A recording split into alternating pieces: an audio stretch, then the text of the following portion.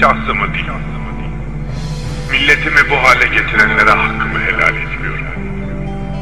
Beni, benim için lif lif yolsalar, cımbız cımbız derelerimi koparsalar, sarayımı yaksalar, hanım hanımı, hanedanımı söndürseler, çoluğumu çocuğumu gözümün önünde parçalasalar, helal ederim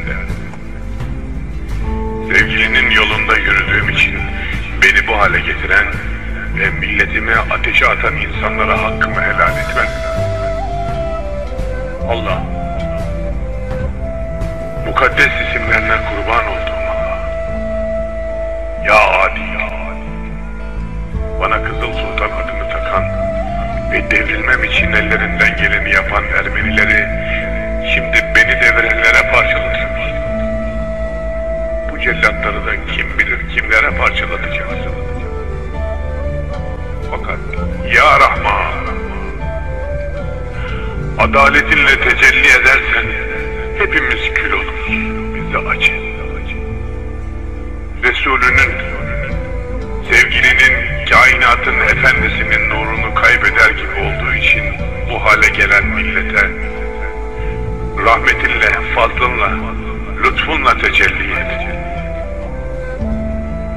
Ya Kadir, kundaktaki yavruyu gagasına almış kaçıran leş kuşunu düşürüp çocuğu kurtarmak ancak senin kudretine sığabilir. Leş kuşlarının gagasında kundak çocuğuna dönen milletimi kurtar Allah. Ya mabut. Ömrümde tek vakit farz namazı kaçırdığımı hatırlamıyorum.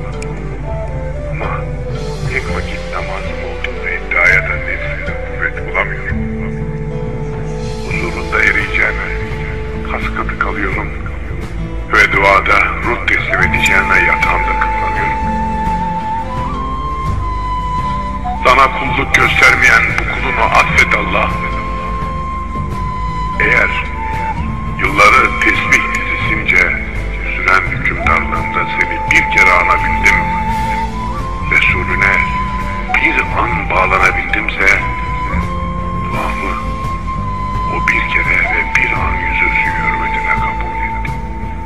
Ya Sübhan, şu titrek elleri kıyamet gününde sana, ümmetim, ümmetim diye yalvaracak olan Habibinin eteğinde şimdi, milletim, milletim diye dilenen bu ihtiyarın duasını geri çevirin.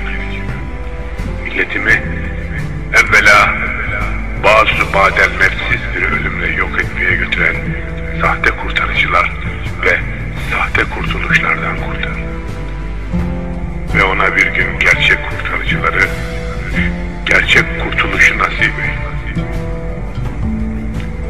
Benim artık bu dünya gözüyle görebileceğim hiçbir saadet ümidim kalmadı. Bari, felaketi olsun bana daha fazla